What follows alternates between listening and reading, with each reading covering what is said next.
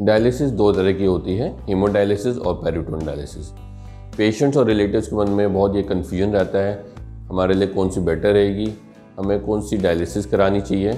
तो आज हम डिस्कस करेंगे difference between peritoneal dialysis and haemodialysis और पेशेंट के लिए क्या सूटेबल रहेगी.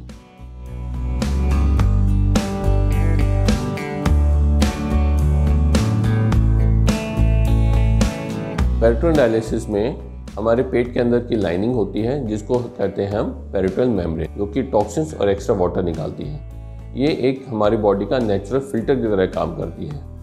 ये चौबीसों घंटे काम करता है। जैसे कि अगर हम कंपेयर करें हीमोडायलिसिस से हीमोडायलिसिस हफ़्ते में आठ से बारह घंटे काम करता है। अगर हम हफ़्ते में दो या तीन सेशन करें बट पेट्रोन डायलिसिस चौबीस घंटे चलती रहती है। तो ये एक नेचुरल और मोर फिजियोलॉजिकल प्रोसीजर है। इस डायलिसिस में पेशेंट के पास फ्रीडम रहती है टाइम की कोई बाउंडेशन नहीं रहती है पेशेंट अपने काम में जा सकता है ट्रैवल कर सकता है। जैसे कि अगर कंपेयर करें हेमोडायलिसिस में पेशेंट को हफ़्ते में दो या तीन बार हॉस्पिटल में विज़िट करना पड़ता है डायलिसिस कराने के लिए, जो कि पेरिटोन डायलिसिस के केस में ये प्रॉब्लम नहीं होती हैं। पेरिटोन डायलिसिस के केस में पेशेंट को डाइट्री रिस्ट्रिक्शन नहीं होती हैं। पेशेंट जितना भी प्रोटीन और पोटेशियम की मात्रा ले सकता है। और एक्स्ट्रा वाटर भी अगर होता है तो वो डायलिसिस में निकल जाता है। बट हीमोडायलिसिस के केस में पेशेंट को बहुत फ़ूड में रेस्ट्रिक्शन रखनी पड़ती हैं।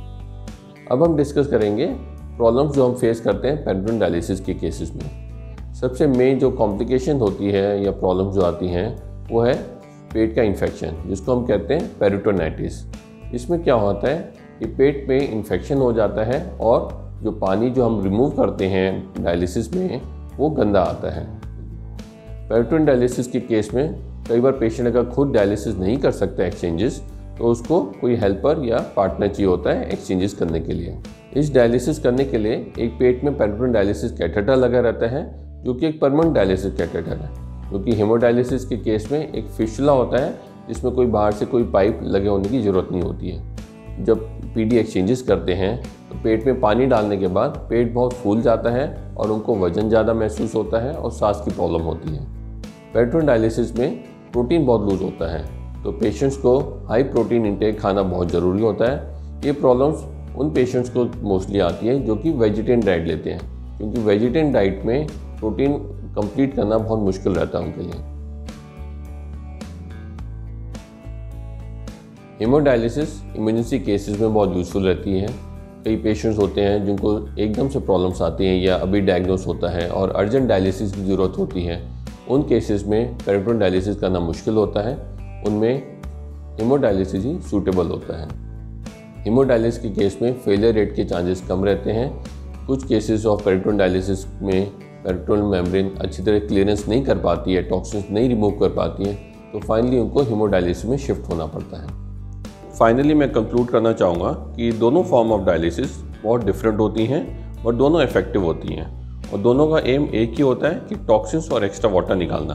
तो इसके लिए आपको अपने नेफ्रोलॉजिस्ट से डिस्कस करना होगा कि कौन सी आपको चूज़ करनी चाहिए। अगर मैं बात करूँ पेरिटोल डायलिसिस के बारे में, उन पेशेंट्स में सूटेबल है जिनमें हीमोडायलिसिस के लिए फिशुला नहीं बन पाता है या उनके घर के आसपास हीमोडायलिसिस सेंटर नहीं होता है और उनको अपने लिए टाइम ज़्यादा चाहिए होता है। वो बार बार हॉस्पिटल नहीं जा सकते डायलिसिस कराने के लिए। और अगर हीमोडायलिसिस के केस में वो इमरजेंसी केसेस में बहुत हेल्पफुल रहती है और कई केसेस ऑफ़ पेरिटोन डायलिसिस में जब मेम्ब्रेन फेल हो जाती है तो उनको हीमोडायलिसिस में शिफ्ट होना पड़ता है।